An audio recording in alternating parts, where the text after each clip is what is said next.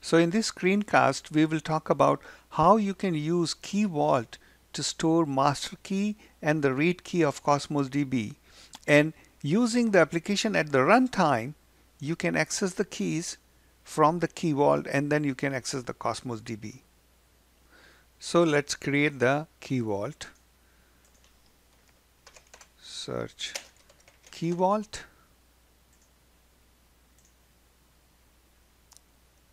Create. Give a name. I will say Rafat KV2 leave subscription as is. Choose a resource group. I will leave the location as is price as is access policies. Here you can add other users or MSI so if you go here you can see that you can add other principals here see all these principals you have in your enterprise. You can go ahead and add them but I will just leave it as is. I will leave as one user only able to access. Second thing you can put VNet around this key vault or you can set the firewall. But for this demo purpose I'll just leave it as is here and I just say go ahead create. It takes few seconds but I already have a key vault created so let's go ahead and use that. So here's my key vault. And if I come here, click on secrets, now I can keep my secrets here. So I go ahead, generate uh, name, maybe I'll say Cosmos DB master key. That's my secret name. And my secret is this is where in the value field I'll put the master key of the Cosmos DB. So let me type something here for our testing. Cosmos DB master key is here. So this is what I typed here, create. Now I have my secret is created with Cosmos DB master key, the name of the secret is. And now how to access this secret, if I click on this, I get this URL, the secret identifier click to copy this close all this. Now let's go ahead and open Visual Studio and write the code to access this. So here's my code. As you can see um, it's very simple code. I'm calling just one main sync function.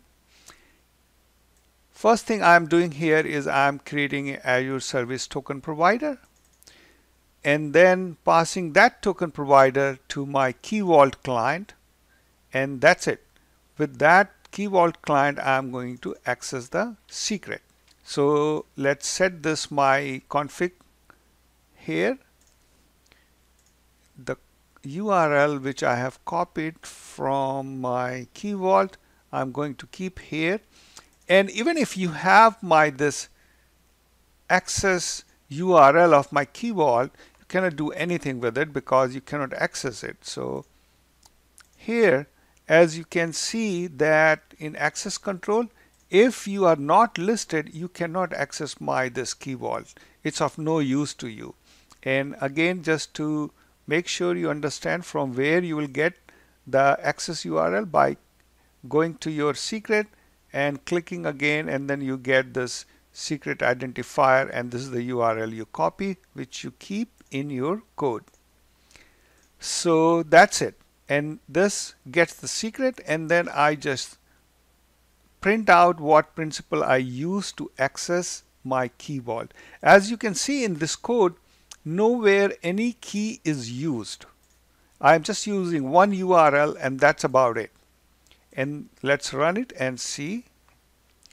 As you can see, I retrieved the secret from the key vault. Cosmos DB master key is here. And the principal used is user principal name is my name here. This is the best practice how to access your Cosmos DB.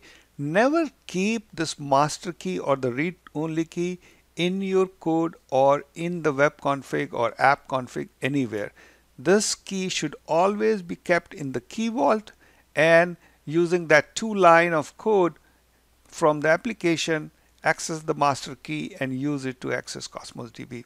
And another thing to notice that as you know in Cosmos DB you have two keys primary key and the secondary key and using this key vault you can create both the keys here primary key and the secondary key and you can go and anytime you can disable the key like here I am disabling the key and I am saving it here now this key will not be accessed from outside. As you can see I cannot access this key because it is disabled in the key vault and using the Azure CLI here you can see all the CLI commands are there.